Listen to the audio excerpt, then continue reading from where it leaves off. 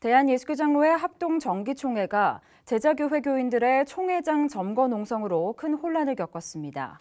총회가 제자교회의 소속 노회를 교인들 스스로 선택하도록 한 것인데 당회 측 교인들이 철회를 요구하며 강하게 반발하고 있습니다.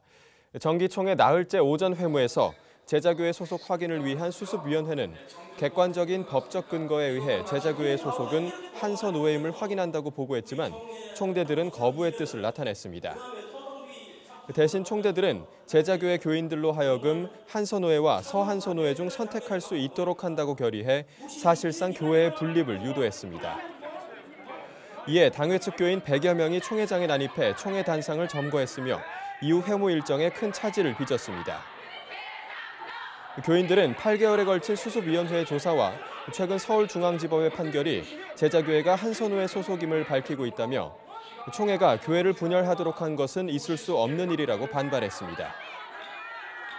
안명환 총회장은 오후 2시까지에 이어 다시 저녁 7시 반까지 정회를 선언했으며 총회 임원 5인을 선정해 24시간 이후 재론할 수 있는 방안을 연구하겠다고 발언한 후 퇴장했습니다. 한편 서울 목동 제자교회는 정삼지 전 담임 목사의 배임 횡령과 관련해 정 목사를 지지하는 비대위 측과 반대하는 당회 측으로 나뉘어 수년째 갈등을 빚어왔습니다.